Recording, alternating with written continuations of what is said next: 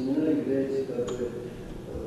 Концепцию разработали в Казанском государственном архитектурно-строительном университете. Презентацию провел заведующий кафедрой градостроительства Александр Дембич.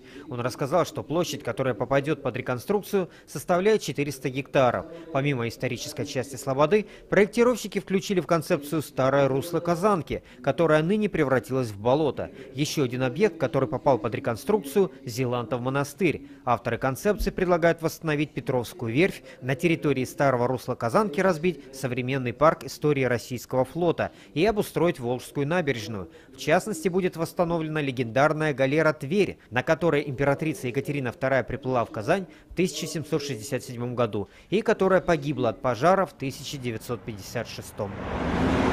Идея реконструкции возникла два года назад во время прогулки по Слободе президента Рустама Миниханова и казанского экскурсовода Олеси Балтусовой. Благодаря ее открытому письму в адрес властей в городе и началась кампания по сохранению и восстановлению памятников старины. Сейчас в Адмиралтейской Слободе проживает 8,5 тысяч человек. Разработчики считают, что после всех преобразований местное население увеличится до 20 тысяч. Предполагаемый объем бюджетных инвестиций в реализацию концепции – 12 миллиардов рублей.